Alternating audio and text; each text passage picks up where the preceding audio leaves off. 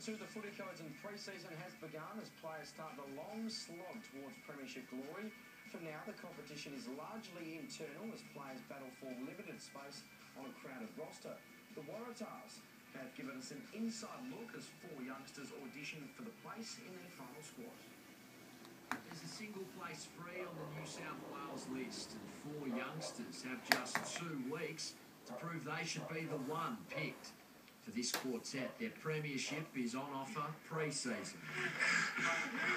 Hamish Angus was the leading point scorer in the 2012 Shute Shield and the competition's Player of the Year. You never know these things. I guess for me, it's just been about giving 110% for all the session I've come to, and hopefully things go my way. Ben Volavola has played for Australia under 20s and last season starred for Southern Districts. Just getting a spot would be a great achievement, but also pushing alongside uh, trying to play Super 15 would be a dream come true. It's Toby Brown's second chance at Super Rugby, having previously represented the Rebels. Um, it's just an eye opener, really. Like you, you take it for granted, um, and yeah, once you come back, you just really enjoy rugby. Um, you do it, you do for the, you do it for the enjoyment. While the Tahs see enormous potential in young back rower Peter Samu. Got straight into it and um, didn't know what was coming, and um, yeah, it was it was real tough there.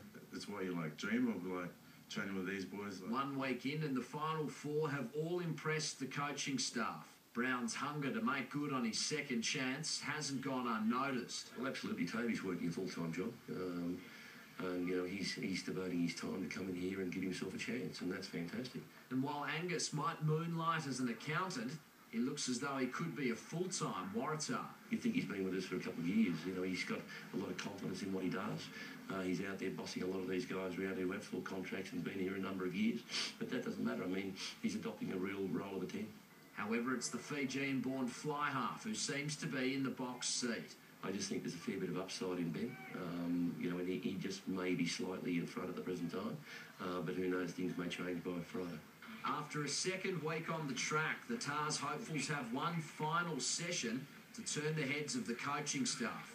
And it's another grueling stairs workout that even has the veterans hurting. Stairs, they're tough.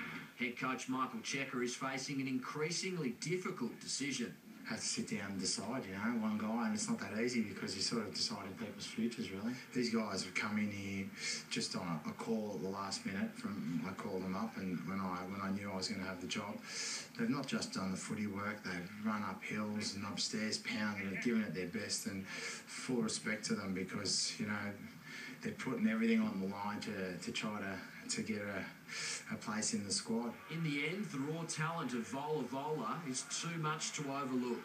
Though the coach had some words of encouragement when he made the call. I hope you continue to get used to the big boys now because uh, I'd like to offer you the last spot. So just started cheering once I heard that. he may be happy to be on the list, but ironically, the real work starts now. Patrick Stack, Fox Sports News. Well, it can be tricky keeping